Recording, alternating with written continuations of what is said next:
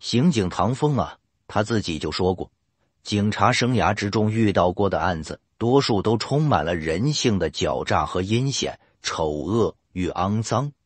这些呢，无不让唐峰重新审视“人之初，性本善”这句老话。但另一方面，这些案子大多手法拙劣，充斥着狂怒的冲动和肤浅的算计。即便是对侦查工作造成阻碍，也是因为证据的采集和海量排查工作的繁琐。就犯罪手法来说，远远谈不上高明。这也是上期节目我说过，真实世界中的案件和那些影视剧、小说里面是不一样的，没有那么多的完美犯罪。但是有一个案子呀，让唐峰记忆深刻。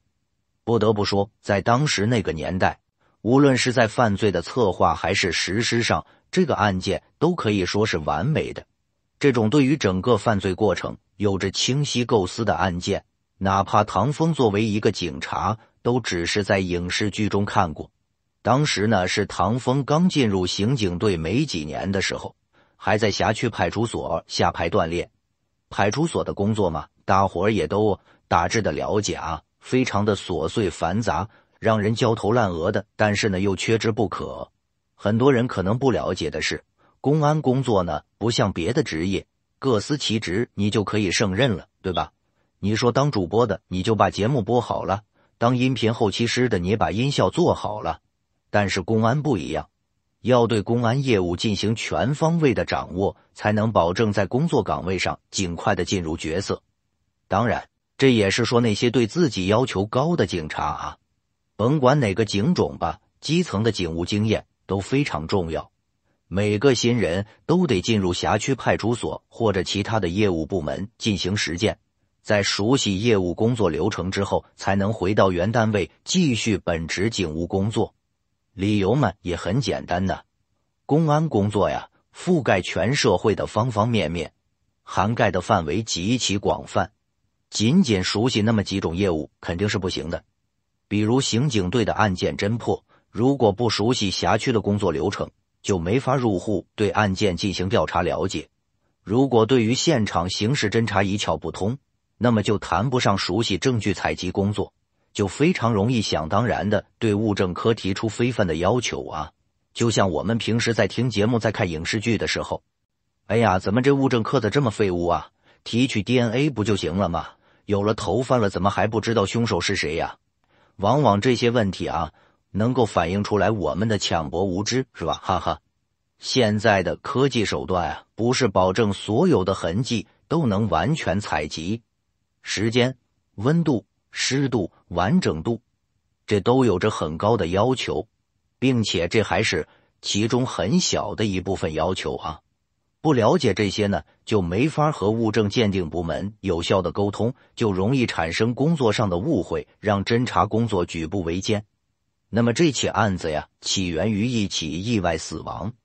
那天呢，唐峰在派出所出警，一个老人呢着急忙慌的跑过来，说辖区里啊发生了一起高空坠物致人死亡事件。怎么回事呢？这老人说呀，在街边店铺旁边发现一个男的。被高空掉下来的一扇玻璃招牌给砸死了，唐峰赶紧就出警了。到了现场之后，详细检查了死者的脉搏和呼吸，确实已经失去了生命体征。幺二零救护车到达现场之后，确认完死亡事实，就把尸体送到太平间了。死者是男性，头部被坠落的玻璃砸出来一个拳头大的洞，特别的吓人。因为人已经死了。血块呢，就凝结在伤口周围，看得唐风啊也是胆战心惊。毕竟当时刚参加工作不久，出现场的次数呢屈指可数，而且大部分都是打架斗殴、小打小闹的这些治安事件。死人的案子也碰见过，但没有像这么血淋淋的。所以像这种视觉冲击啊，不用我说，大伙也能体会出来啊。足足用了一个多小时，唐风呢才回过神来。可怕归怕，你是警察呀，你干的是这行当啊，你得干好你的活。不久，出现场的次数呢屈指可数，而且大部分都是打架斗殴、小打小闹的这些治安事件。死人的案子也碰见过，但没有像这么血淋淋的。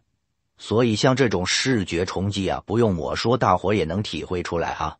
足足用了一个多小时，唐风呢才回过神来。可怕归怕，你是警察呀，你干的是这行当啊，你得干好你的活。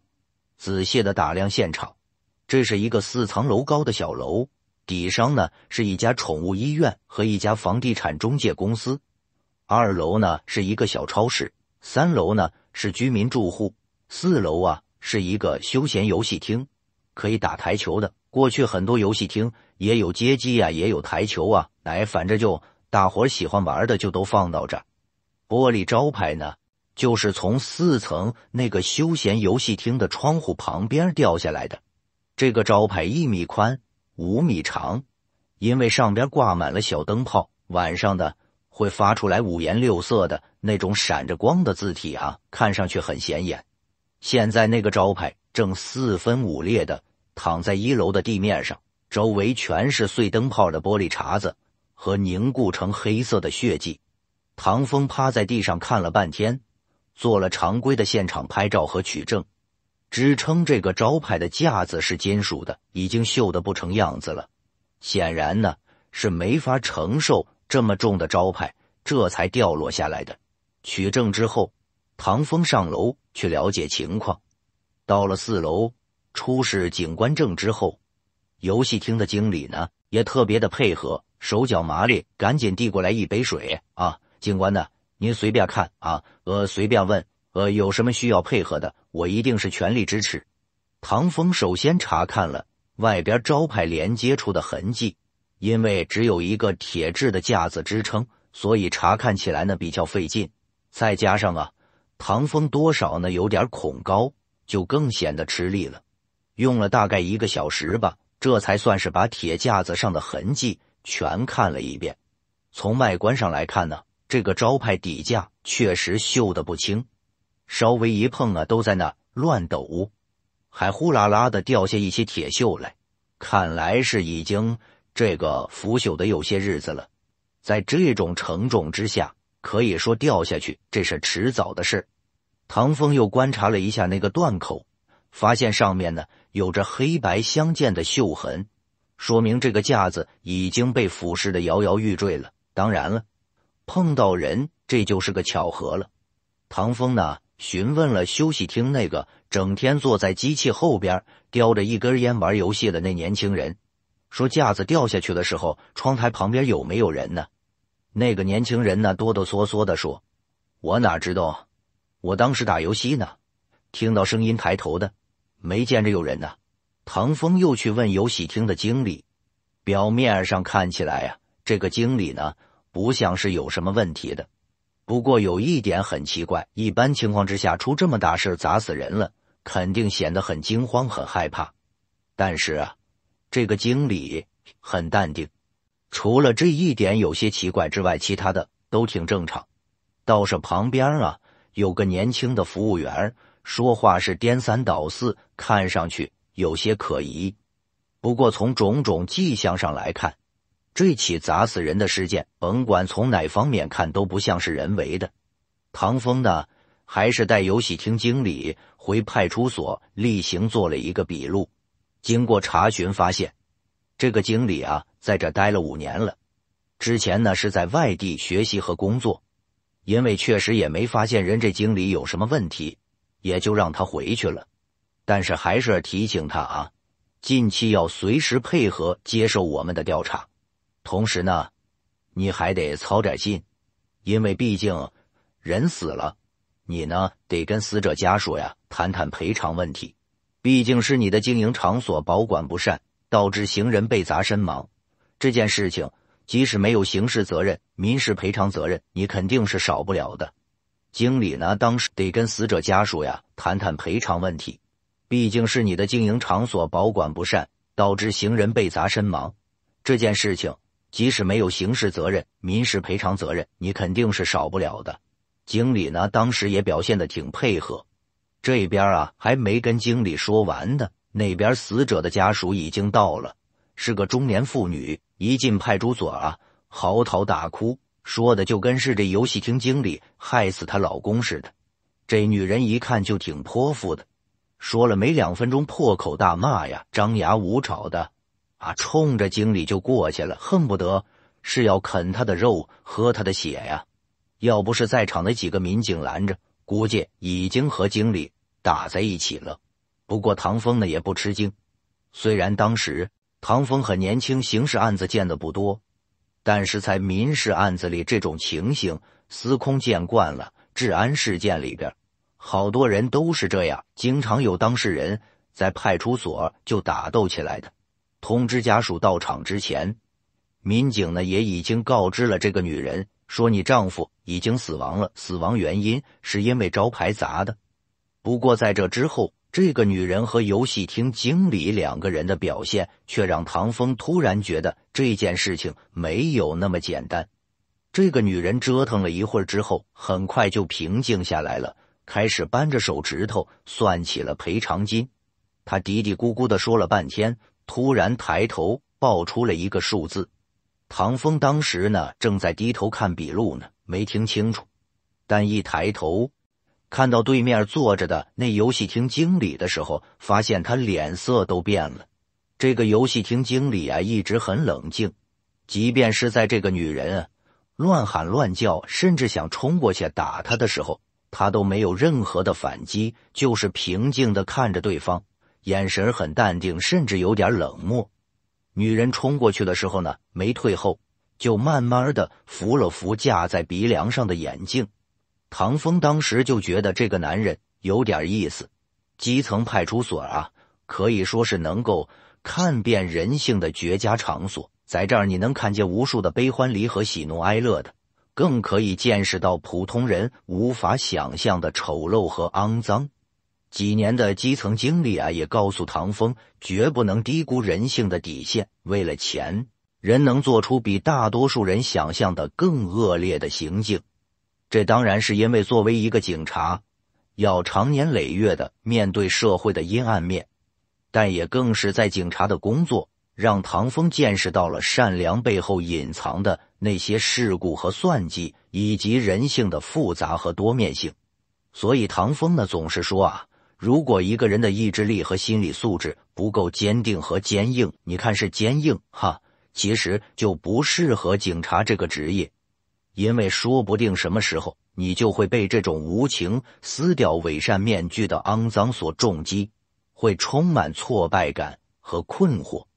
当然，唐风后来最得意的徒弟韩东升，就是其中一个例子。不过啊，那是另一个故事了。韩东升，咱们之前提到过。至于韩东升的故事，我们后面再说。再说回来，这个案子，这个游戏厅经理呢，叫刘宇，三十多岁，长得挺斯文，身材是属于那种瘦高挑的，有一股子书卷气。从一开始传唤他到派出所的时候，唐风就注意到他很特别。游戏厅那个年轻的服务员小伙子呀，是瑟瑟发抖；但是这个刘经理呢，看上去很镇定，面对各种各样的问题是对答如流，非常有条理。甚至唐风出示证件的时候，还看到刘经理脸上有一种若隐若现的笑容。当唐风听那个女人。重复了一遍赔偿数字的时候，才明白刘宇为什么表情突然就变了。别说是在二十年前，哪怕在现在，那个数字都远远超过了一个意外人身伤亡案件的正常的一个赔偿金额标准。这个女人说出那个数字的时候啊，有一种丝毫不加掩饰，都远远超过了一个意外人身伤亡案件的正常的一个赔偿金额标准。这个女人说出那个数字的时候啊，有一种丝毫不加掩饰的急切感，好像都忘了刚才还假装着因为丈夫的死悲痛欲绝呢啊，要死要活呢。作为调解方啊，警方其实特别怕碰上这种双方有着巨大赔偿落差的情况，特别是他们还不愿意去法院解决，往往呢就需要民警耗费巨大的精力和时间进行调解。当时跟现在不一样，人们对打官司的主动性啊，远远低于口头协商，甚至低于用肢体冲突的胜负来解决问题。就是能几句话说着解决问题，那是最好的；实在不行，动手打一架那也行。最后没法了，这才想着去法院的。这个女人的表现呢，就是令唐风觉得意外的地方。刘宇脸上的从容呢，虽然被一种奇怪的表情代替，但很快就平静下来了。他就只是说呀：“现在手头没这么多钱，并且这个数字我也接受不了。”一听，这女人可就又没完了，又恢复了那个狰狞的状态，又准备冲上去。唐风制止了他，并且啊，建议他们：“你们双方如果协商不成，可以走民事诉讼程序。有些事情在我们派出所是解决不了的，不如让法院来裁决。”那女人一听，怎么着去法院？不行！哎呀，我男人哪死的这个惨呢？怎么就死了呢？啊，怎么就让那招牌给砸着了呢？你看呢，那招牌砸死你，他们也不管呢，连警察都不闻不问呢，这可就没完了。这个女人呐，就是打算让刘经理妥协，哎，这倒反而对警方有利。你这么一折腾，警方可就有教训你的这个借口了呀。唐风就告诉他：“你再这样下去，会涉嫌妨碍公务。”这女人一听，哎呦，这可是不小的罪过啊！这回头再给我拘留了，这怎么办呢？噌楞一下就翻起来了，气呼呼的就走开了。离开派出所的时候，这女人呢还对刘宇说呢：“我告诉你啊，我知道你的店开在哪儿，你跑不了啊，一定得把钱赔偿到位，要不然呢，我找人砸了你的店。”唐风啊，刚想再说几句话教育一下他的时候，这女人从门口一闪而过，消失了。刘宇表现的呢，倒是挺不以为然的。他笑了笑，也在那儿跟唐风说：“实在抱歉，我这边实在是自己管理不善，对方呢又在气头上，我也能理解。不过他说的这个数字实在是太大了，我没有能力赔偿。”所以我也赞同您的说法，如果我们协商不成，可以去法院解决。唐风很感谢刘宇的配合，把他送出门去。回所里之后，马上着手调查了解死者的情况。死者这个泼妇一样的老婆呀，反而引起了唐风的兴趣。二十几年之前，案卷的调取呢，有一套完整的线下程序，不像今天这样敲敲电脑，网上一查就都出来了。唐风也是在双方不欢而散之后，才拿到了厚厚的卷宗。本来唐风也奇怪，死一个社区居民，怎么会有这么厚的材料呢？没料到从头到尾仔细看完，是大吃一惊。因为这些案宗啊，都是那个死者的。死者呢叫罗平昌，有过坐牢的经历。据案卷上显示啊，他上次入狱。是因为强奸并且殴打对方致重伤，被判了十七年有期徒刑。五年之前刑满释放，他入狱的时候已经四十多岁了，也就是说出狱的时候已经六十来岁了。这罗平昌的案卷是让人大开眼界，这个人可以说是偷鸡摸狗、打架斗殴，无恶不作。说他是人人恨之入骨，可能有些过分，但要说是人见人厌，谁都不喜欢，这绝对不夸张。这也真是不是一家人不进一家门呐！唐风呢，自个儿也在那感慨，这也算是明白为什么这个女人会有。这也真是不是一家人不进一家门呐！唐风呢，自个儿也在那感慨，这也算是明白为什么这个女人会有这样子的表现了。同时，也对这个女人的势力很感慨。从以往的这个履历上来说呀，这个女人和罗平昌呢，算是老夫老妻的。毕竟罗平昌坐牢这十几年，这女人也没改过嫁，也算是有情有义。可谁能想到，罗平昌被砸死之后，这女人一味的求财，要赔偿金，是狮子大开口，脸上丝毫看不到刚死了老公的那点悲伤情绪。当然了，假装的时候啊，撒泼打滚的时候，那是演的，那不算。如果说这些发现仅仅是让唐风吃惊的话，那么接下来看到的罗平昌入狱的案情，就让唐风啊感到十分愤怒了。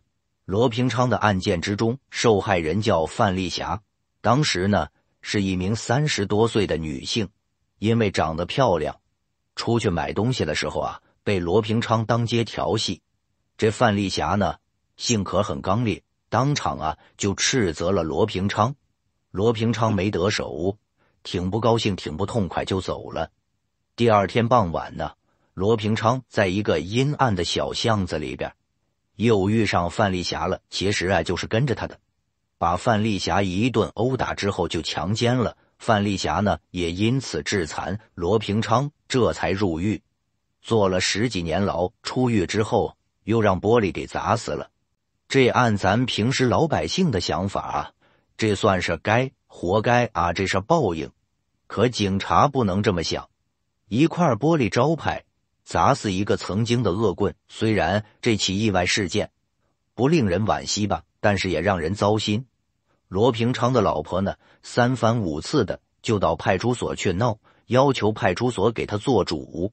这女人也学乖了，不像第一回的时候那么乱喊乱叫了，就是每天加个包，派出所门前一坐，叫也不应，喊也不走，就装听不见，就赖在所里。有时候啊，能在那磨一整天。其实这样呢，也没什么用。唐峰他们也只能调解啊。对于赔偿金额，你做不了决定啊。最终能让他获得赔偿金的还是刘宇啊！这个女人呢，显然对派出所也不陌生，看上去呢也不怕警察，这倒也能理解。这罗平昌是个惯犯，进出派出所、看守所是家常便饭，可是他老婆一回都没被拘留过，这说明这女人很聪明啊！老公虽然是混蛋，但他从来不触犯法律。他知道什么事情做到哪个程度就要适可而止了。这女人有那么两周左右吧，每天就跟上班似的就来了，轻车熟路待上一天，然后回家。唐风他们也习惯了。说句不合适的话，这个女人的准时程度比唐风他们正常上班一点也不差。哎，突然有一天，这个女人呢就不来了。难道是他和刘宇达成了一致意见，还是出了什么事儿了呢？上期节目呢，咱们提到了死者罗平昌的老婆，也就是那个中年女人，恨不得每天都跟上班似的去派出所。突然有一天，她就不去了，这反而勾起了唐风的好奇心。难道他和刘宇就赔偿金额达成了一致意见吗？唐风问了几个干警，大伙都说不知道。本来呢，以为这件事情就这么完了，给罗平昌销户之后。按理说呀，就没有派出所什么事儿了。不过过了一段时间，罗平昌的老婆自己又找上门来了。这一次，唐风一看到她呀，就觉得有点奇怪。这个女人呢，和之前来的时候气色明显不一样了。一般女人死了，老公都是一副顶梁柱塌了的样子，人是萎靡不振，披头散发，因为生活失去着落了，以后无依无靠啊，人憔悴的不行啊。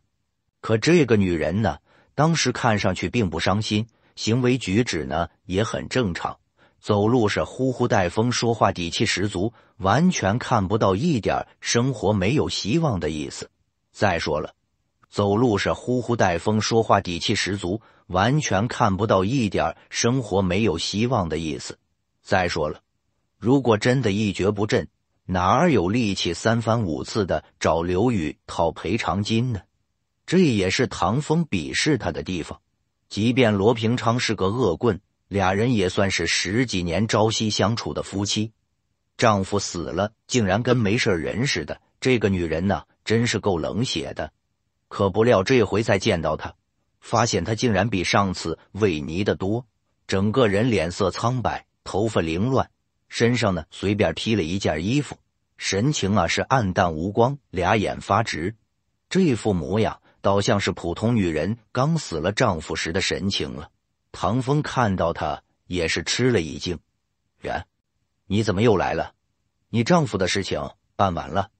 这个女人看看唐风，没说话。过了一会儿，才如梦初醒的说：“对，火化了，后事都处理完了。”这答非所问呐，让唐风呢有点诧异。啊，那就好。不过我是说。罗平昌的赔偿金给你了吗？给我了，那个人给了。唐风心里吃了一惊，那可不是一个小数目。刘宇啊，还真是有钱。出于谨慎，唐风还是问了心里那个疑惑：“给了多少？是你要的那个数吗？”这话一说出口，这女人呢，像是被蛇咬了一口似的，哆嗦了一下。没有，不是那个数。然后他左右看看，像是怕被什么人看见似的。唐风见他不说话，你今天来派出所干什么呀？有什么事吗？呃，呃，嗯，没什么事。唐风一头雾水，估计这女人来派出所也不会有什么别的事情，就主动问他，是刘宇的事情吧？这个女人听了这个名字呀，像是受到惊吓似的。你认识他？我当然认识他了。你们的案子就是我办的，不就是他管理的游戏厅玻璃招牌砸中了罗平昌吗？我能不认识他呀？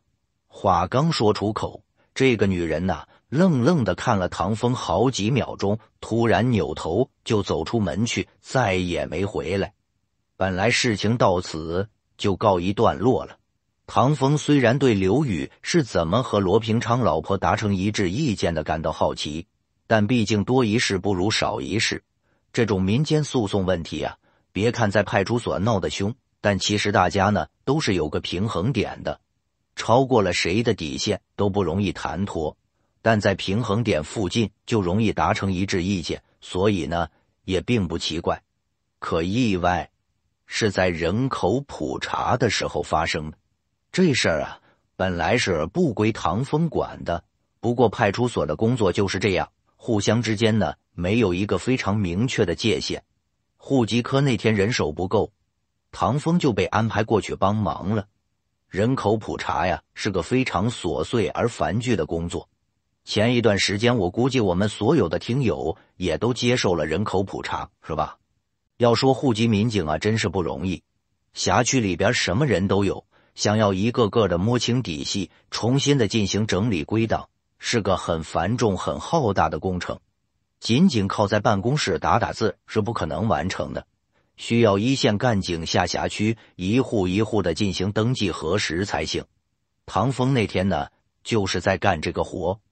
户籍科的民警随手给了他几个名字，说是让上门核实一下情况。唐风随便扫了一眼，看人不多。直接一户户的摸排过去，还算是顺利。不过走到一家门口的时候，唐风敲了半天门，始终都没人开门。唐风低头看看手上的名单，赫然写着刘宇，这名字很眼熟啊！唐风脑海里边顿时浮现出那个瘦瘦高高的身影。刚觉得巧合，邻居就开门出来，赶紧问他这家的人口情况。大妈说了：“啊，男的，三十多岁，一直都不在这儿住，他自己有个店，住店里，是叫刘宇吧？是不是高高瘦瘦的，开游戏厅啊？嚯，业务挺熟啊。就是这孩子呀，挺可怜的，父母都没了。哦，那这户里还有谁呢？我没带户口卡，就问问您记录一下吧，回去核对一下，对不对？没了。”刚夸你业务熟，这就懵了。他爸早死了，他妈一个人带大他的。哎，这孩子呀也是可怜。后来他妈被人被人打残了，没过几年就去世了。这地方呢就没人住了，也就是这一两年他才回来。您是说他妈被人打残了？哎，等会儿，他妈叫什么名字呢？大妈看着唐风。像是看着一个怪物似的，范丽霞呀，怎么了？唐风像是被雷劈了似的，当场就愣住了。哦，嗯，没事，我得登记一下。回到所里，唐风赶紧把范丽霞的记录和资料找了出来，详细看了一遍，结果大吃一惊。那个叫范丽霞的女人，果然是刘宇的生母。更让唐风感到震惊的是。刘宇本名叫刘浩东，现在的名字是改过的。刘浩东，唐风的脑子里啊一直盘旋着这三个字。一开始呢，唐风还以为查看罗平昌案卷的时候只提到受害人的名字，没有提到家属，漏掉了刘宇的社会关系。没想到刘宇连名字都改了。当时查看刘宇记录的时候，没注意到他的曾用名。就算是注意到了，也很难将两个人联系在一起。唐风马上在脑海之中重新捋了一遍时间线。罗平昌二十几年前因为恶行打残了刘宇的母亲范丽霞，后来范丽霞去世，而多年后出狱的罗平昌被从天而降的玻璃招牌砸死，而玻璃招牌掉下的那家店铺的老板恰好是刘宇，这会是巧合吗？鬼才信是巧合呢！唐风突然想起来，与罗平昌老婆的最近一次相遇，在派出所门口那次。顿时觉得事情更加的扑朔迷离了。既然已经和刘宇谈妥了赔偿金额，为什么还要到派出所来找唐风呢？找到唐风了，为什么又问唐风和刘宇的关系呢？什么都不说，转身就离开了，又是因为什么呢？毫无疑问，现在罗平昌的老婆是了解问题的重要突破点。那么，他的老婆知不知道这背后的隐情呢？唐风呢，马上就去找到了罗平昌的老婆。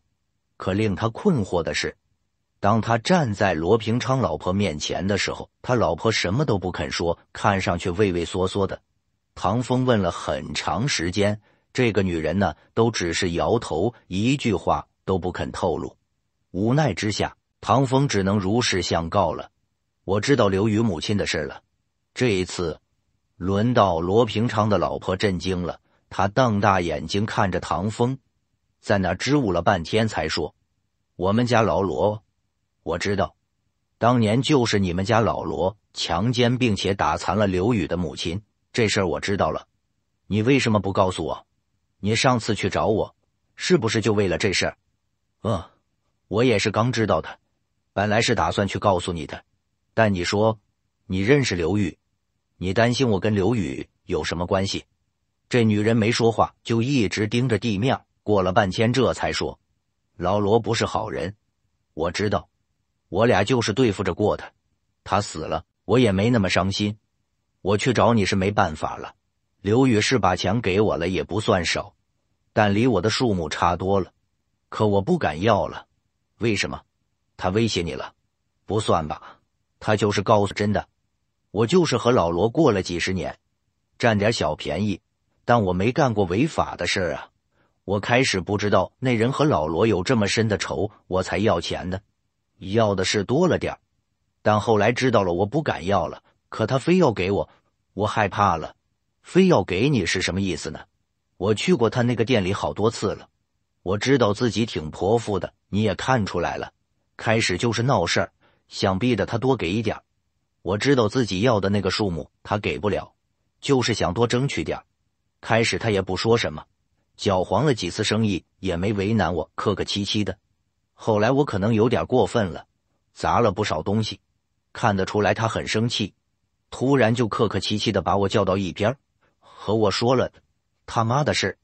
我害怕了，我也不知道怎么形容他，说的话挺客气的，脸上也笑眯眯的，可眼神啊，就像是要杀了我似的，而且直接就提出一个数目，告诉我就这个数了。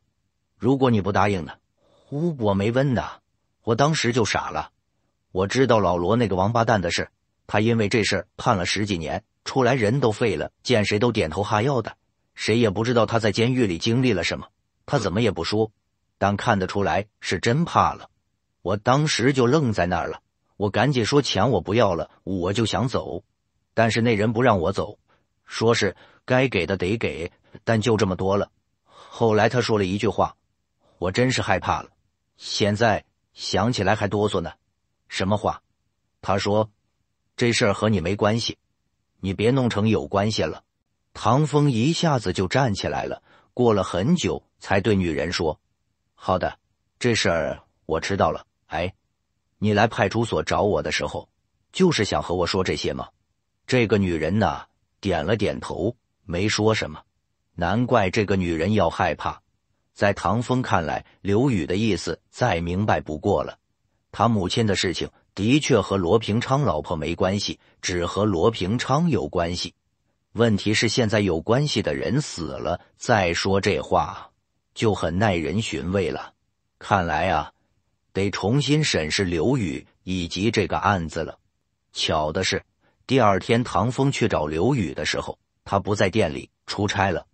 唐风呢也不着急，这反而有利于唐风进行询问。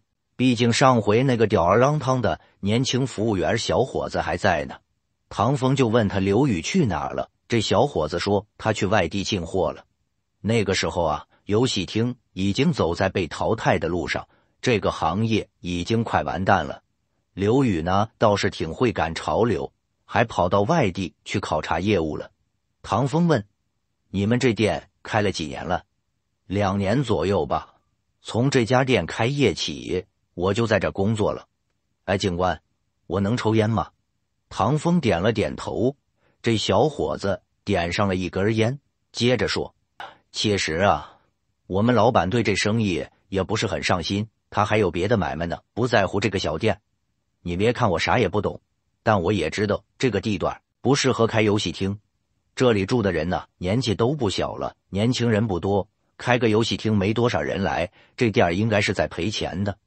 啊，我们老板别看人不大，看着挺精明的，不知道为什么做这赔本买卖。哎，那当然了，生意的事呢，我也不懂，他也不让问。哎，你就当我瞎说吧。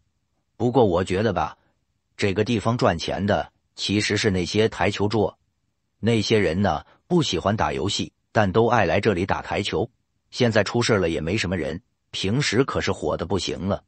唐风看看那些横七竖八杵在那里的球杆，桌子上的台球被整齐的摆放成一个个的三角形。对，我就是来问那件事的。小伙子马上正经下来，烟也掐了，表示一切都历历在目。可是，当唐风问到出事当天发生的细节的时候，这小伙子含糊其辞，看得出来他是真的不记得了。据他说呀，有什么异常？唐风又问他：“你们老板平时有什么特别的地方吗？”“嗯，我这也也没发现有人么。”“嗯，哎，警官，养花算吗？”唐风赶紧看了一圈，没看到有花。想起邻居大妈说刘宇平时都住在店里，不禁就有些奇怪。哪有花啊？现在是没了，这不出事了吗？谁还有心情弄这些花啊？没出事之前呢，店里养了几盆花，没事老板呢就给剪枝浇水的可勤快了。他年纪也不大，可是呢却喜欢养花养草的，跟个老头似的。还不过爱好这东西啊也不好说。他的花都摆放在哪儿呢？我那天上楼的时候怎么没看见呢？收起来了呀，出事了还摆着花，不合适啊！我当时还帮着搬了一盆呢。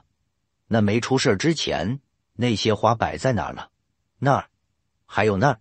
小伙子用手指了几个地方，最后把手指移向一个位置的时候，唐风眼前一亮，是窗台。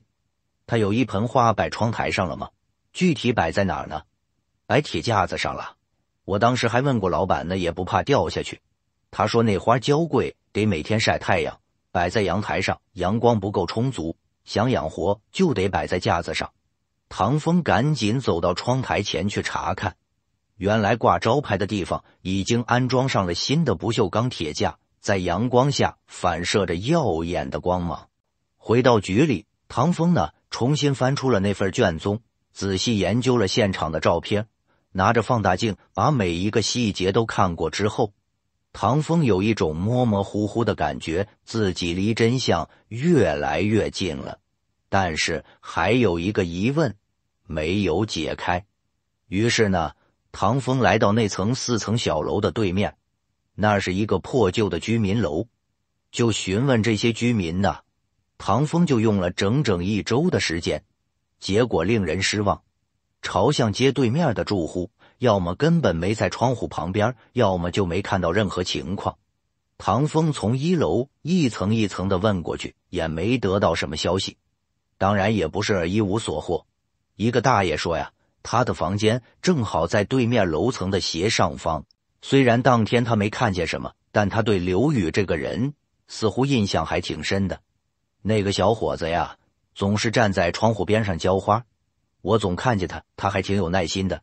每次都浇半天，要说浇花这种事啊，其实也不能总干，那样花容易死。当然了，我也看不清他浇的多少，但时间挺长的。浇花，长时间的浇花。唐风当时啊，心里就跟被子弹射中了似的，心里腾楞就抖楞了一下，豁然开朗。啊呵，呃，是啊，花的确不能总浇水。现在，唐风只要确认最后一点了，那么，唐风最终要确认的是什么问题呢？罗平昌是不是刘宇害死的呢？唐风呢，重新找到了罗平昌的老婆，这一次。和他要谈的是罗平昌。罗平昌出狱之后有什么癖好吗？比如有什么经常去的地方吗？他呀，出狱之后整个人完全变了，像个七老八十的老头子似的。每天都去城边的那个麻将店打麻将，一打就是半天，也不吵闹，就是玩点小钱，输了就走，从来不赖账，也不和人家争执。我不放心，生怕他又和人发生打斗。专门去那个麻将店问过，谁知道那儿的人呢？都说他脾气好，都进去十几年了。现在的人呢，都不知道当年他那些烂事，所以都觉得他就是个好脾气的平常老头罢了。谁会想到他当年是个谁见了都怕的地痞呢？这不是好事吗？是好事啊！可是他死了，我们虽然是凑合着过，毕竟日久天长啊。也是有感情的。现在人几点钟去麻将馆呢？九点钟准时到。他在监狱里守时惯了，干什么都严格按照时间来，一分钟都不会耽误。九点钟肯定到那，只要不下雨下雪，都是这个时间。我清楚的很。唐风明白了，多年的监狱生活让罗平昌建立了严格的作息时间，已经形成生理惯性了。估计。这一辈子呀，都很难改变了。普通人呢，可能不清楚啊。在监狱里面，所有犯人的活动安排都是严格按照作息时间表来的，每一分钟做什么都规定好了，绝不会改变。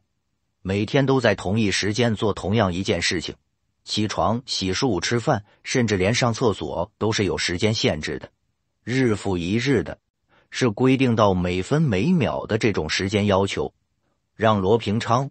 他这个时间观念呢，就有一种近乎偏执的认真，这已经不随人的意志转移了。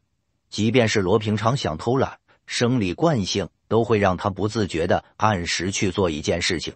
有一部特别出名的电影叫《肖申克的救赎》，我估计最起码百分之八十以上的听友都看过吧，是吧？大家呢可能就会记得，男主角呢说过一句话：“没有允许。”我在厕所连一滴尿都挤不出来，这也就是长期制度规范所形成的生理惯性。这也就是为什么每天罗平昌自觉或者不自觉的在九点钟准时到达麻将馆的原因。唐风相信，当罗平昌按时走在那条两旁高低房屋林立的街道上的时候，他肯定想不到有另一双眼睛在角落里边。冷冷的注视着他的背影，唐风对于罗平昌出事的时间记得很清楚。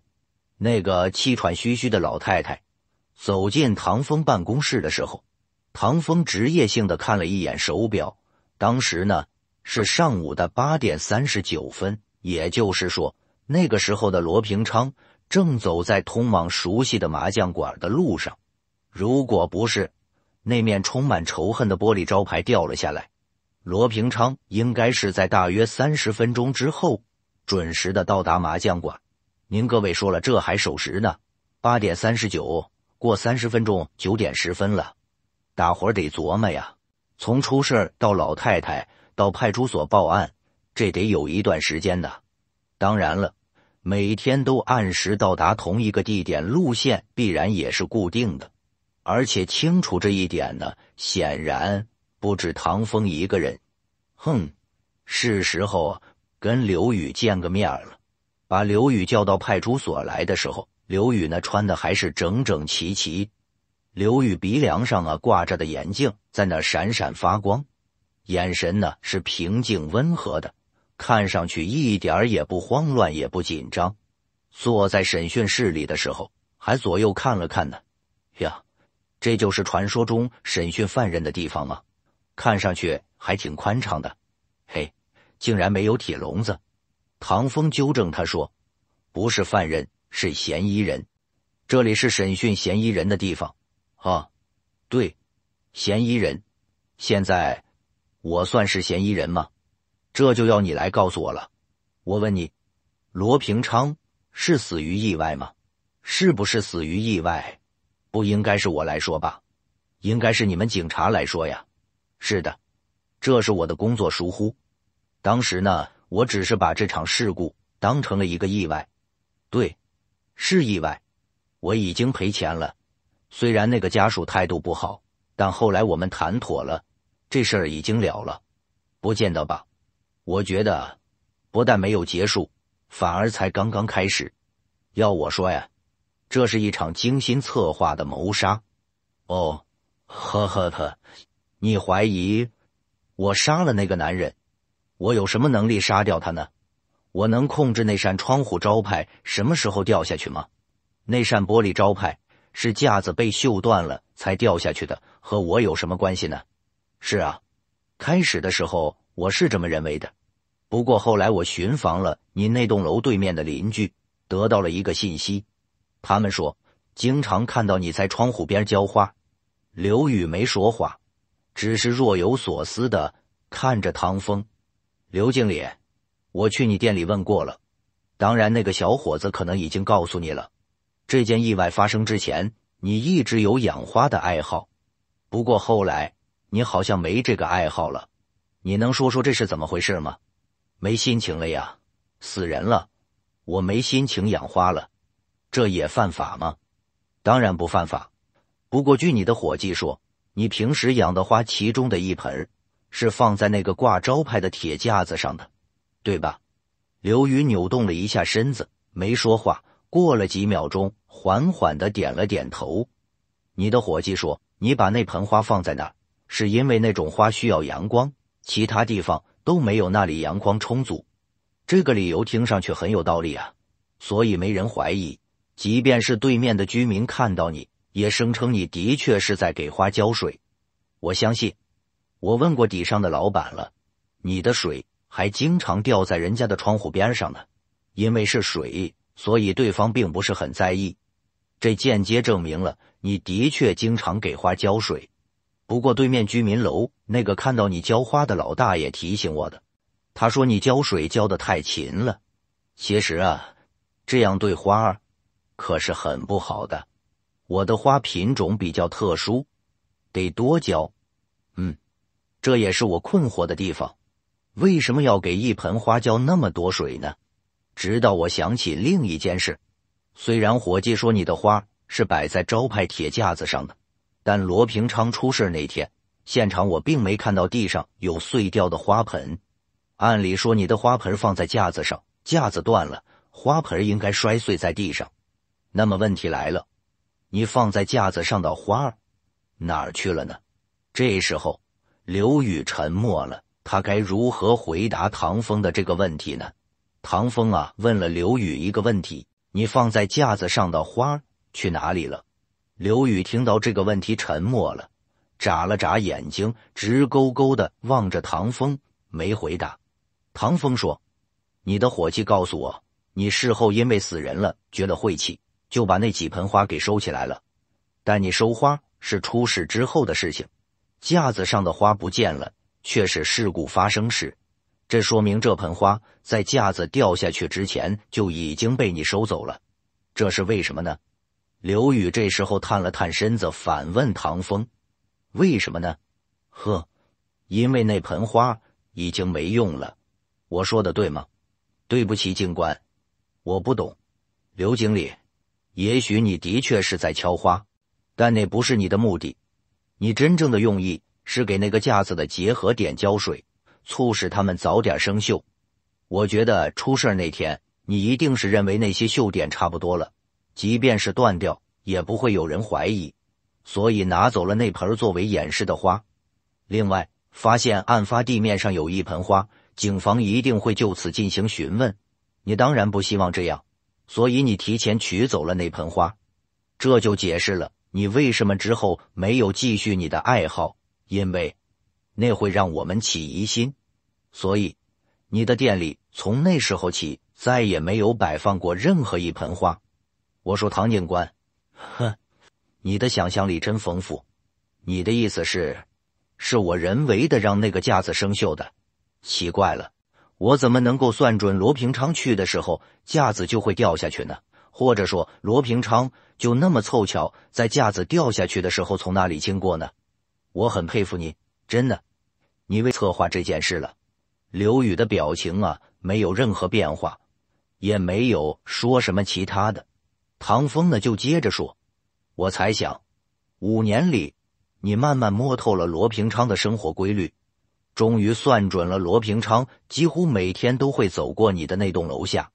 不应该这么说。”你因为罗平昌每天都会走过那条街，所以租下了那个店面。我找罗平昌的老婆了解过了，他从两年前开始雷打不动的每天从那栋楼走过去麻将馆，时间几乎不会变。而你的店开了正好两年左右。当然了，我想这一些你比我清楚的多，对吗？你弄错了，我不清楚。你有什么证据吗？有啊。虽然那个架子已经被处理掉了，但我看过现场照片了。你的招牌架子的其他金属部分都没有那个支点锈迹多，那个位置的锈迹最为严重。我猜想，在焊接这个招牌架子的时候，你就故意让焊接点不那么结实，而且你心里清楚，因那个架子的重量，一个支点断裂足以让整个架子重重的掉下去。据我猜测呀。搞不好你连掉在什么位置都模拟过了，我为什么要这么做呢？你说的像侦探小说似的，神乎其神的。我搞那么复杂的机关，杀个老头干什么呢？因为你母亲，因为他对你母亲犯下的罪行。你什么意思？罗平昌应该是不认识你的，但你一定认识他。十几年前，就是他将你的母亲殴打致残，还实施了暴行。这件事情。想必让你对他非常仇恨。这件事情已经过去了。坦白说，我那时候只有十几岁，还少不经事。我母亲含辛茹苦把我抚养大，出了这种事，我的确非常痛苦。但日子一天天过去，我也长大了。我终于熬过了那段日子。特别是在母亲走了之后，我早就放下了这件事。我不那么想。正相反，我不清楚你什么时候开始策划这件事。但从你母亲去世开始，你应该就立刻开始着手准备了。这么多年，你从来没有忘记这份仇恨。罗平昌的死证明了这一点。出事那天呢，罗平昌和平常一样准时经过你的楼下。你觉得时间到了，为了这一刻，你准备了五年。但架子要在罗平昌走过楼底时准确的掉下去，这是你唯一无法间接掌控的事。你必须亲自动手，我不清楚你是用什么方式把那个架子推下去的，但你肯定使用了工具。我在架子上没有提取到清晰的指纹，说明当时你没有用手，或者说你戴了手套。但我不认为你会这么干。对面就是居民楼，那样太容易暴露了。店里有很多工具啊，比如台球杆。使用球杆的好处是上面没法提取指纹。因为整天都有人在用，指纹太多了，即便提取到了你的，也说明不了任何问题。当然，我还能想到几种方法，这并不难做到。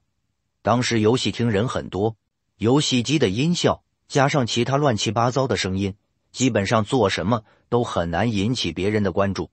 你的动作稍微隐蔽一点，就不会有人注意到。得手之后，店里的人不会立刻知道楼下砸到人了。这里存在一个时间差，但你知道，你只要快步从那个窗台旁边走过，就不会有人发现。警官，太荒唐了！那架子是锈断的，当然没有我的指纹。你当然不会承认，这是一出好戏啊！架子生锈是你的障眼法，一个支撑点足够牢固的架子掉下楼，太容易让人起疑了。但一个被锈断的架子就显得很正常。换句话说。你从来没有喜欢果花，你一直都在为那个架子浇水，好让别人以为那个架子是被锈断的。当然，看上去也的确是锈断的。呵，呵，刘宇，你记得我那天去你店里查问吗？这个倒不奇怪，不过这对你肯定是有利的。你想太多了，事情没有那么复杂。我不否认，这个姓罗的的确是对我母亲犯过罪。实话实说，他死了对我来说是件值得高兴的事情。但你说我设计杀害了他，你就冤枉我了。警官，法律是讲证据的。你这么着急要把罗平昌的死栽赃给我，至少要拿出证据来。放心吧，我会找到的。有一点是我没想到的，你居然会威胁罗平昌的老婆。你太自信了，这会害了你的。我可以告诉你，既然能坐在这儿和你谈，就说明我已经有了把握。现在我的同事。正前往你的店里寻找我们需要的证据。物证技术的发展没有你想的那么落后，我想我们会在那儿发现想要的东西的。哎，对了，你的店一直都在亏本，你居然能坚持两年，这说明你经济条件很不错。其实本来你可以生活的更好的。我读书很认真，我妈身体不好，我不能辜负她。你知道有句老话，叫“知识改变命运”，对。只是你不仅改变了自己的命运，还有别人的。警官，我没什么好说的，祝你好运吧。我在此重申，我是清白的，姓罗的死和我没有关系。走出门去的时候，刘宇啊，像是想起了什么，回过头来对唐风说：“不过对我来说，姓罗的这种下场，就叫罪有应得。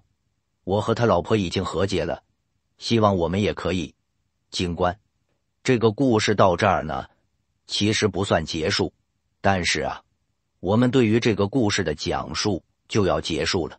唐风在自己的刑侦笔记里也说，案件的真相和他推测的几乎完全一样。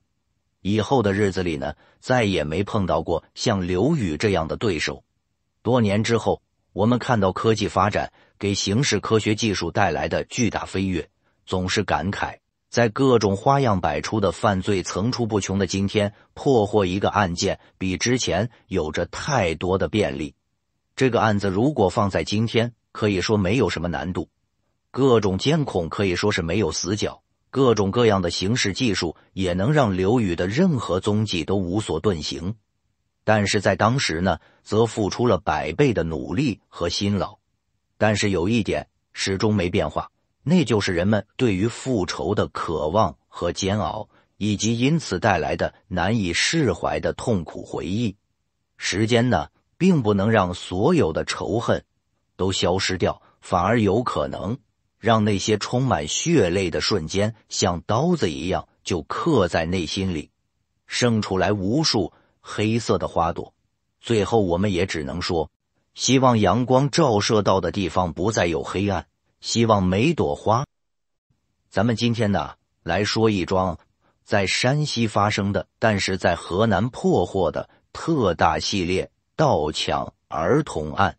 事儿从二零零四年二月二十六号说起，在河南省三门峡市有一条黄河公路大桥，这是横架黄河南北，把河南省的三门峡市与山西省的运城市。就连接起来了。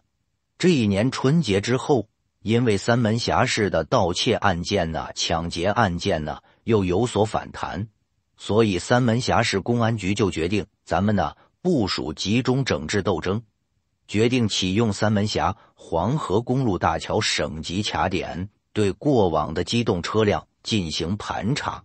二月二十六号这一天，在黄河边上，那河风是寒风刺骨啊。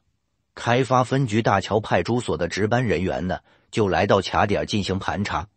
当天下午五点五十左右吧，天儿都要黑下来了。有一个小伙子骑着一辆红色的摩托车就过来，摩托车后座上呢还坐着一个中年男人。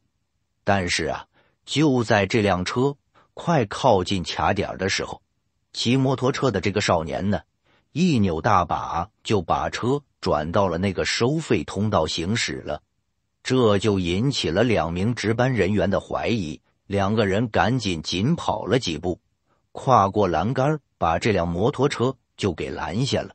摩托车被拦下以后，车后座上的那个中年人赶紧就下车。值班人员呢就问他：“你们是什么关系呀？”啊，这是我儿子，我们是父子，我们呢呃就在三门峡租房子住。这不，摩托车手续跟驾驶证都忘家里了。我看你们在这检查呢，我就我怕这个查着我们，这不就想着跑吗？值班人员呢随后检查他们的摩托车，发现这辆车呀已经很破旧了，但是。点火的那个锁头是新的，再加上挂的那牌照啊，是用铁丝临时固定上去的。值班人员一看，这摩托车呀，八成是偷的，于是呢，把这对父子就控制在了警车里边，一个人负责看护，一个人呢骑着这辆红色的摩托车赶回派出所上网比对。很快，比对结果就出来了。确定这辆摩托车是二月十四号在三门峡市经济技术开发区某网吧附近丢的被盗车辆，在所里值班的所长啊，立刻带人回到了大桥这边，把那对可疑的父子就带回了派出所，并随后将案件移交到了开发分局刑警大队。这对父子被带到了开发分局刑警大队之后，时任大队长陈国庆。在当天晚上九点左右，对他进行了审问。那个中年人呢，说自己姓李，叫李希言，五十一岁，是河南省鹤壁市浚县人。现在呢，租在三门峡市经济技术开发区向阳村，平时呢就是修理自行车为生。儿子叫李良伟，十七岁，小学毕业之后一直跟着他四处做生意。在审讯的过程之中啊，李希言和这李良伟父子俩呀，最初都是一副无辜的模样，在那一个劲的喊冤枉，哎呀冤呐！不知道这摩托是别人偷来的呀，我们也是买的呀，就看便宜合适就买了呀。顺着这话茬，民警又问他们：这车跟谁买的？什么时候买的？时间地点？俩人呐说的是南辕北辙，漏洞百出。陈队他们立即意识到这两个人是在撒谎，在简单汇总了审讯情况之后，陈队决定继续跟他们斗智斗勇。持续了将近两个小时的较量，这对父子啊还是不开口。于是有一位民警叫王江波，他们呢连夜又找来摩托车失主，详细了解丢车的情况。据车主反映啊，说摩托车丢失之前呢。用一个链条锁把车锁在一棵树上了。后来呀，车被偷了之后，在现场呢发现了有运动鞋的鞋印。了解到这个情况，民警立刻对李希言父子租住的房子进行搜查。虽然没发现链条锁，但是在房间里边找到了两双运动鞋。不过，你光是有运动鞋。那很多人都有，你不能就说人就是这个呃作案的嫌疑人嘛？再一比对，这大小、花纹还真是一样。根据这条线索，在接下来的审讯里，李良伟承认，其中啊那双号码比较小的是自己的，但是另外一双鞋呀鞋码比较大。可是李希言呢，比儿子李良伟个头更加的矮小，脚呢也更短一点。所以摆明了这双鞋并不是李希言穿的，在铁证面前又僵持了几个小时。李希言跟李良伟也知道，再这么拖着呀也没用了，还不如好好配合呢。李希言呢就跟陈队说：“我承认这摩托车是偷来的，不过我没参与啊，呃，是我儿子梁伟，呃，还有另外一个山西叫张同新的人一起做的案。”因为父子俩是分头审讯，另外一边啊，李良伟说的情况和李希言说的却不一样。李良伟说了：“嗯，偷摩托车的时候，我就我跟我爸，除了我俩之外，还有一个叫老四的人，但究竟老四姓什么叫什么，我可不知道了。”在接下来的审讯里，陈队呢突然就问李希言：“行了，李希言，说说吧，老四是谁呀？”是什么老四啊？嗯，哪哪有什么老四啊？我我不认识，我不知道。尽管他矢口否认，说从来没听过这个人，但是陈队明显感觉到李希言慌张了，他在刻意掩饰着什么。这摆明了呀，中间有鬼。这时候啊，天色已经快亮了，陈队他们可是一点也不困，围绕着老四和张同心的这个问题，继续对李希言父子进行盘问。最后，李希言终于扛不住了，他说。张同心，是我编的，没有这么一个人。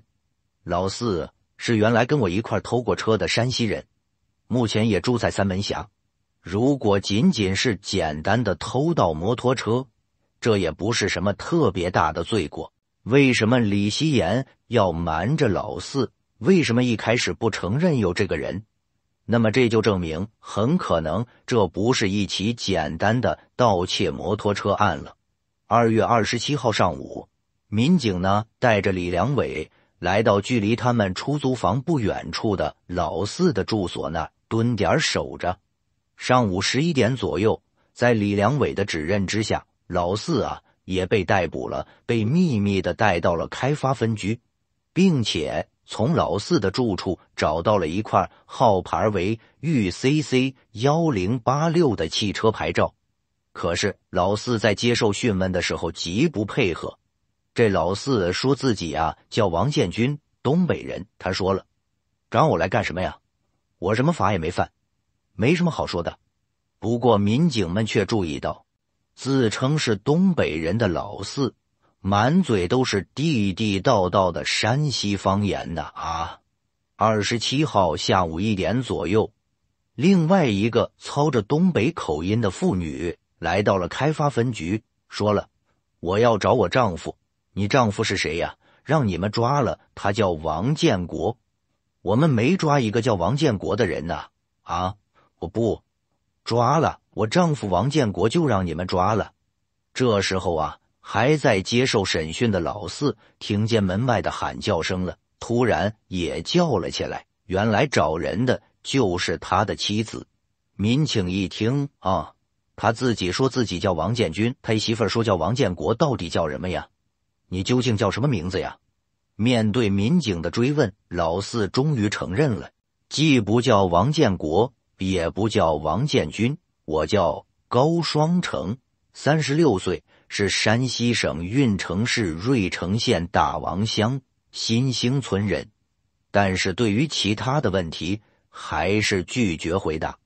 越来越多的疑点。就让陈队意识到案情可能还会进一步的升级，他及时的将案情向分局局长、分局的政委做了详细的汇报，研究制定了下一步的审讯方案。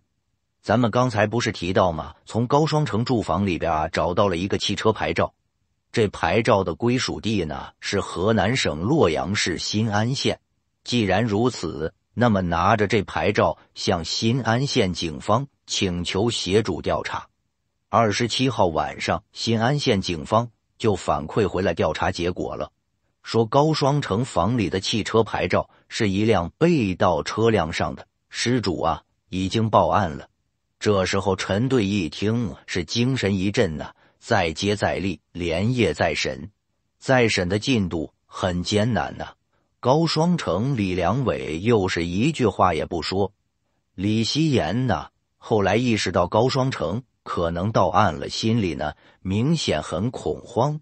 审讯之中是驴唇不对马嘴，想着竭力的自圆其说，可是啊，还是总是有各种各样的矛盾，没法圆上去。审讯的民警也不给他机会啊，汤汤汤汤汤，跟机关枪似的，连珠炮的发问呢。李希言终于开口了，他呢陆续交代了。自己和儿子李良伟盗窃摩托车，以及春节前后伙同高双成连续窜到新安县盗窃了三辆汽车的犯罪经历，同时还交代了说，二零零三年七月份和高双成一起在三门峡偷走过一个男孩，并且把男孩以八千块钱的价格卖到了河南省安阳市内黄县，偷孩子。跟偷车性质可就不一样了。听到李希言这么一说，陈国庆陈队心里边一激灵，赶紧找过来报案记录。二零零三年七月二十四号，三门峡市居民李某前来报案，说四岁半的儿子龙龙在当天傍晚呢，一个人跑到三门峡黄河广场附近玩去了，结果就丢了，找不着了。当时警方呢曾经安排警力进行调查。但是并没有任何的有效线索。就在零三年八月七号的时候，李某呢又来销案了，说儿子呀已经被安阳警方送回来了。原来啊是安阳警方接到了群众的举报，说谁谁家呀买了一孩子，这孩子可能是拐卖来的。龙龙呢就被解救了，并且龙龙还记得家里的电话号码。据龙龙说。他玩了一会儿，要回家的时候，身后开过来一辆汽车，跳下来一个老头，把他抱上车。他又哭又闹啊，还挨了几巴掌呢。原来这起案件啊，是李希言他们做的，这案情可就升级了。审完李希言，陈队他们经过分析认为，活生生的孩子，这不是其他的被盗的物品呐。如果没有销路。很难这么顺利的出手，也就是说，一定是先把孩子卖掉，然后我再去找孩子，先找买主，然后再去偷去。如果是这样的话，李希言他们很有可能还有其他的案件在身。这时候，陈队突然想起来，之前呢和三门峡一河之隔的山西省运城市警方曾经通报过一起警情。说，从二零零二年四月二十五号到二零零二年九月九号期间，山西省运城市境内的闻喜县、夏县、盐湖区连续发生了多起儿童盗抢失踪案件。这一系列案子发生之后啊，男男女女、老老少少啊，尤其是有孩子的家长，每天都担心的不行啊！哎呦，我这孩子千万别让人给偷了去、拐了去啊！恨不得都不敢让孩子上学，不敢让孩子出门了。而且受害者家属呢，还自发组成了一个寻子协会，先后多次到省市党委以及国家公安部上访。二零零二四二五系列盗抢儿童案，也因此被列为了公安部二零零三年挂牌督办大案。并案侦查之后，山西警方呢组成了五百多人的专案组。开始了大量的调查、摸排、走访工作，但是除了其中两起案件之外，其他的那些起案件呢都没有突破性的进展。除此之外，在那之后，运城市的芮城平陆下县又连续发生了四起盗抢儿童案。李希言的供述让陈队他们这心里头的疑点是越来越多，他们俩呢。就做了一个大胆的推测：李希言等人会不会和发生在山西的系列盗抢儿童案有关呢？想到这儿，这专案组的民警心里边都很激动啊啊！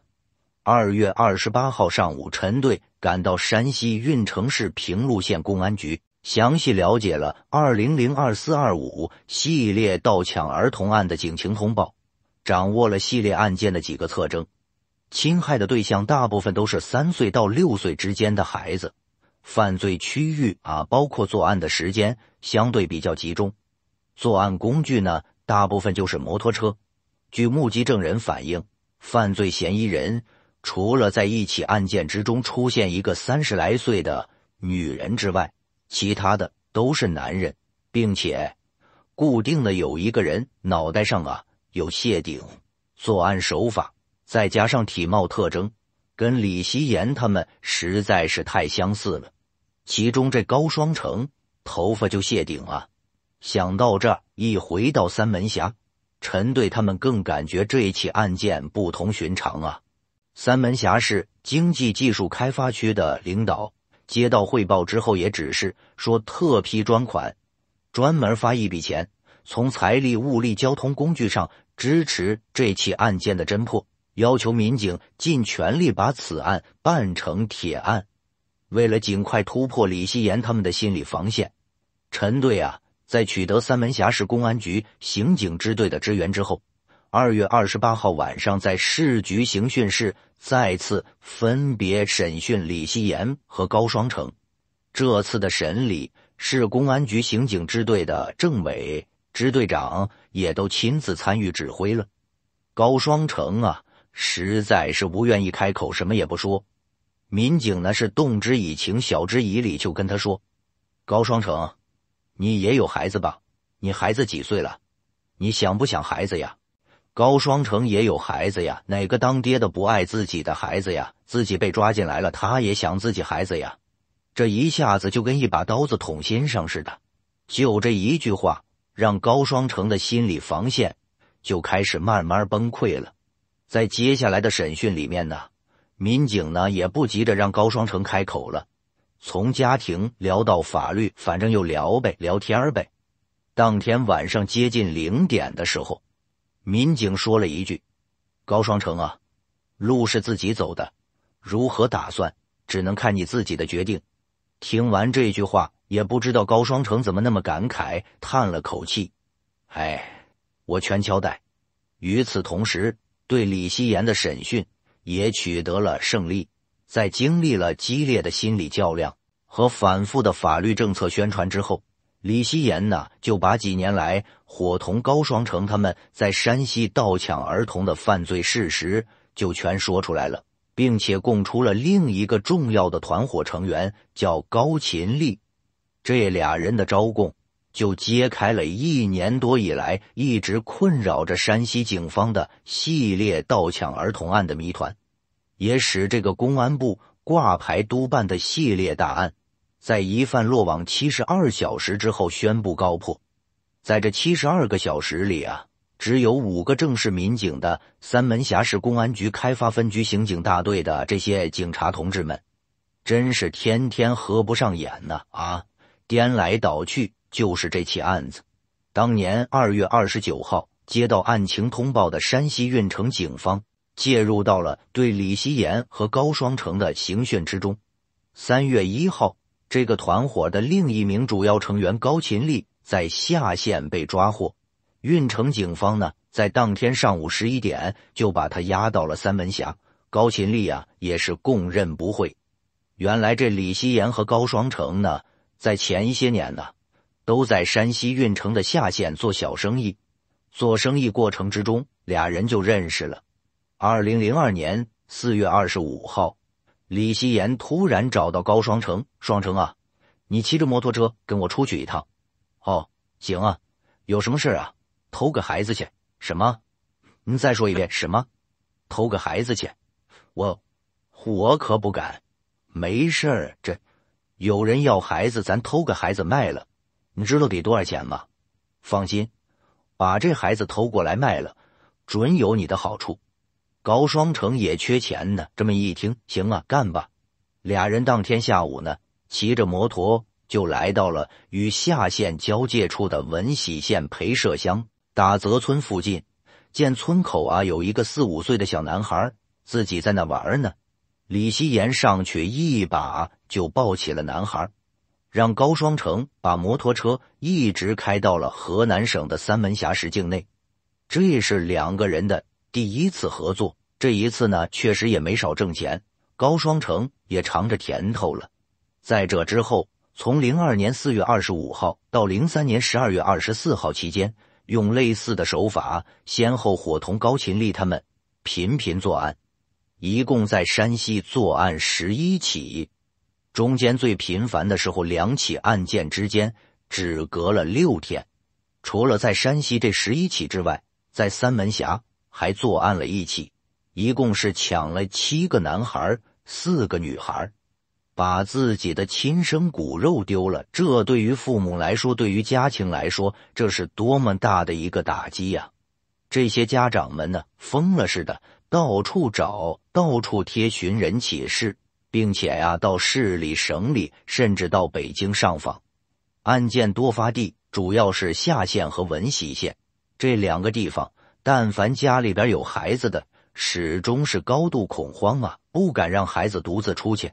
小学生上学放学，得了吧，原来啊都是让他们自己走，现在啊咱还是接送吧。可是案件虽然告破了，不过除了龙龙被解救出来之外，还有另外一个小男孩因为年纪比较大卖不出去，剩下的九个孩子都被卖到了河南安阳的内黄县，还有鹤壁市浚县的一些乡村里面。随后，山西运城警方出动了七十多名警力，三门峡市公安局派出八十多名警力，分别赶往安阳和鹤壁，一举抓获了当地参与买卖儿童的疑犯和中间人，并且成功的将九个被拐卖的儿童解救出来。这是一起典型的拐卖儿童案件。说点我个人的感受啊，我发现往往这一类拐卖儿童案件。经常是高发于农村地区，为什么呢？因为方便作案，摄像头少，监管力度小，还有一个最重要的原因，那就是家长啊心大。每一回我一回到老家呀，我就看村子里面的那些孩子们，甭管是小男孩、小女孩，没家长管着，都在路上追逐打闹啊。这要是有人贩子去村子里边逛一圈这一下就能掳走好几个呀！啊，不费吹灰之力呀。有的家长可能说没办法，太忙，没有时间照顾孩子。但我看到的很多情况是什么呢？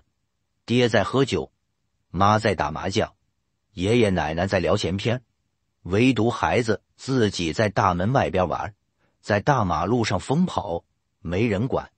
最后出了问题了，来一句：“哎呀，我忙啊，我没时间呐。”哪有精力管孩子呀？我们小时候不也是那么过来的吗？还是得给所有的家长朋友们做一个安全提醒，尽量不要让孩子离开自己视线范围之内。同时，从孩子能说话、能咿呀学语的时候，就要开始给他灌输安全教育了，告诉他面对陌生人的时候该怎么办，面对危险的时候该怎么办。只有我们平时在生活之中。多多的小心一点才能让我们的孩子生活的更安全一点